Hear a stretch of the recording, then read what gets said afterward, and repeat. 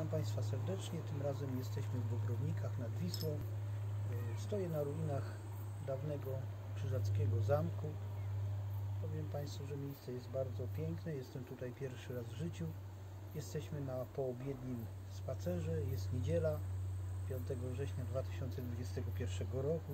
Godzina 16.36. Y, Podziwiam piękno tych ruin.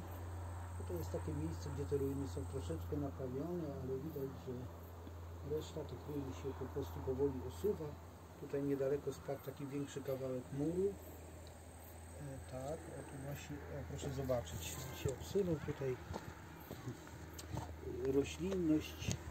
Mamy czarny, czarny bez. E, za plecami tutaj, proszę Państwa, jest Wisła. Muszę powiedzieć, że, że same te te ruiny z daleka wyglądają tak niepozornie. Jednak jak spojrzymy tutaj w dół fosy, to się okazuje, że ta fos, te mury są całkiem wysokie i yy, no nie chciałbym być zdobywcą tego zamku, wspinać się na te mury, żeby tutaj dotrzeć. W dodatku jeszcze jakby lano nam jest smołę, zale- zasypywany napastnik byłby gradem y, strzał z łuków, z kurz. Do tego pewnie jeszcze wrzucano by czym się tylko da. Y, Także zamek na pewno nie był łatwy do zdobycia. Nie znam dokładnie jego historii, ale przepięknie miejsce położone. Stąd widać są wrocławs, y, widać wrocławskie azoty. Po drugiej stronie jest stary kościółek zbudowany bez, całkowicie bez metalu. Proszę Państwa, takie mu- mury, stare mury, które z daleka czy na zdjęciach fotograficznych w Wikipedii wyglądają bardzo niepozornie.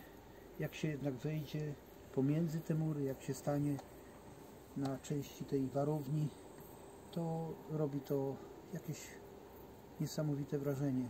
Po prostu czujemy ducha tamtych, tamtych czasów. Zapraszam do Bobrownik nad Wisłą. Jak będziecie przejeżdżać przez Kujawy, przez Włocławek, warto się tutaj zatrzymać, pospacerować sobie. Dziękuję bardzo. Proszę o oglądanie mojego kanału. Trzeba przeżyć Kwadrans z Magiem. Mirosław Antoni Blachmak komentuje. Korzystajmy jeszcze z wrześniowej, ciepłej, ciepłej pogody. Starajmy się nie siedzieć przed komputerami, nie siedzieć przed telewizorami, tylko wyjść na spacer samemu lub z ukochaną osobą, czy z całą rodziną. Wszystkiego dobrego, miłej niedzieli. Dziękuję bardzo.